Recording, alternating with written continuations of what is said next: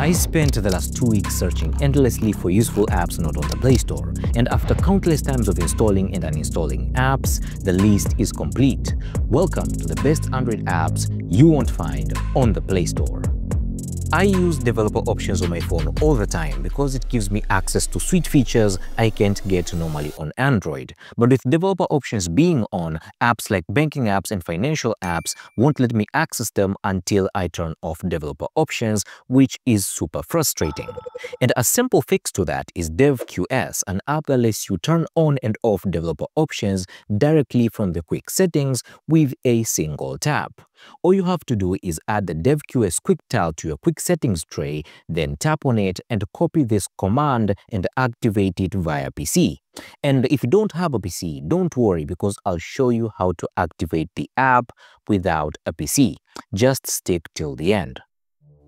The stable Android 16 update is just around the corner, bringing a new redesign to Android, but it still bothers me that there is no built-in app lock feature on Android till now. Even Samsung, the king of features, doesn't have one. Like our friends over at the dark side got the feature and we didn't. Well, as we wait for the feature, here is an app called AppLock, an app that lets you lock any of your apps with ease. Just select your desired apps and boom, no one can access them without a password. And the best thing about the app is that it follows Material You design, has a clean interface, supports use of fingerprints, and has three working modes which is accessibility, usage statistics, and Shizuku which allows for the best functionality possible. Next up on the list is AdSkip, an app that lets you, well, you guessed it, skip ads on YouTube. Basically, all you have to do is grant it all permissions and whenever you play a YouTube video with an ad, the app will mute the ad and tap on the skip button automatically. Been using it for a while and it's fantastic. And hey, be sure to hit that subscribe button so that you don't skip any of our future videos. Get it? Skip? Ad skip? You don't get it? Come on. Moving on the list is AppOps, an app that lets you see every single permissions that apps on your device have access to. You just tap on any app from the list and you can see every single permission and when it was modified. And if you tap on the permissions, you can choose to ignore, deny, ask every time, or allow only when using the app. There are other features too found in the app like clipboard monitor, usage monitor, and so on, but I'll let you explore those on your own. Living alone comes with its own sets of challenges, like maybe when you get an emergency and you can't even hold your phone to call for help.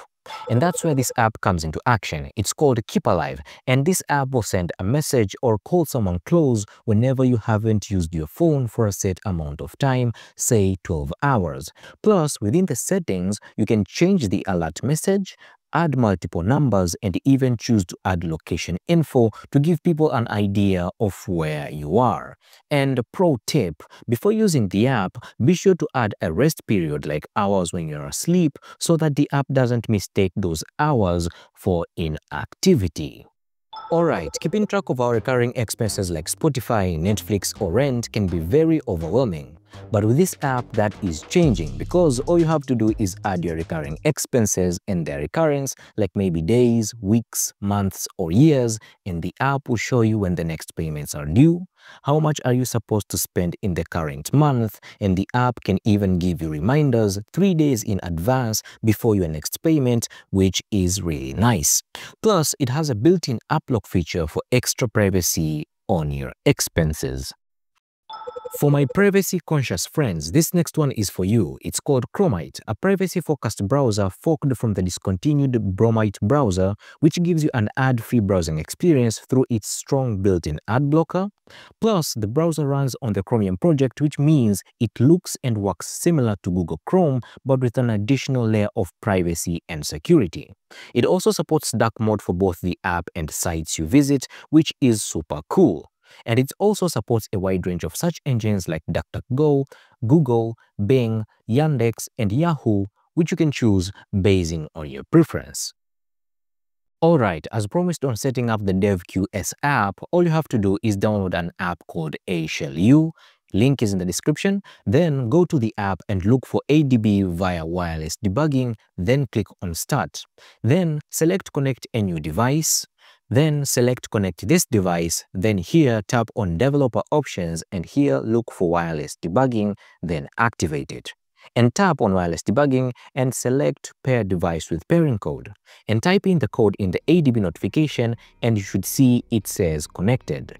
Now head back to AShellU and go to ADB via wireless debugging then select start and select the connected connection and now paste the command here given by the DevQS app and hit on send and you're good to go. Plus, don't worry, this is a one-time process. You won't have to redo the process again when you want to use the app. And hey, that's the full list of the best Android apps not available on the Play Store. Also, be sure to check out this video on the screen to discover some of the best open source apps for your Android device. Thanks for watching. If you enjoyed the video, drop a thumbs up and I'll catch you in the next one.